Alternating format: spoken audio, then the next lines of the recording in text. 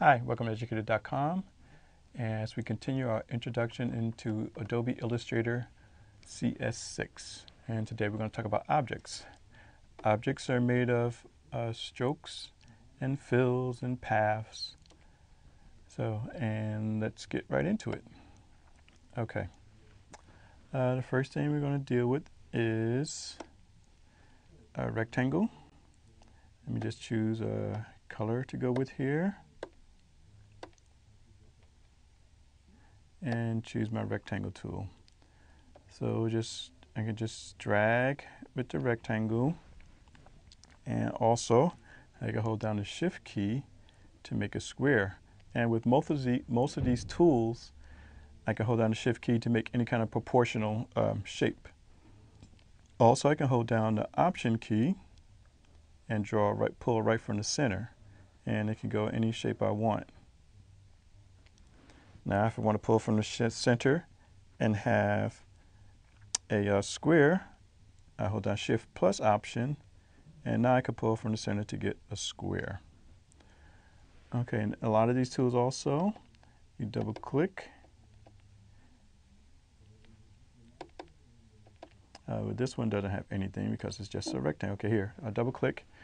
It's very odd because sometimes you double click on the tool panel, sometimes you double click here. So it's always hard to remember which is which. Okay, so in any case, we'll find out as we go along. All right, so uh, I can click a rectangle and then a rectangle appears here. So I can set the numbers there and everything. So we're going to do this a few times, so don't worry if you missed it. Okay, so that is uh, the rectangle. Okay, let's move on to the rounded rectangle.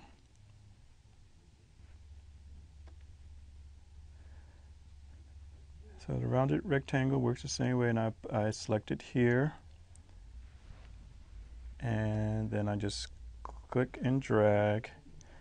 Again I can hold down the shift key to make a square or equally proportioned uh, rect rounded rectangle.